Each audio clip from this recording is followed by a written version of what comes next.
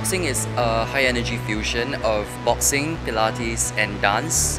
Uh, it adds a lot more strength to your body, gives you a lot more dynamic flexibility, and also, of course, increases your cardio because it's a cardio fusion.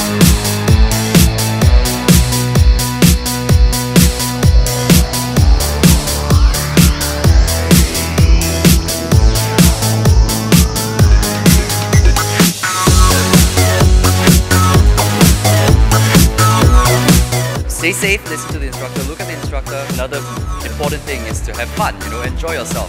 Get a good workout, but have fun at the same time.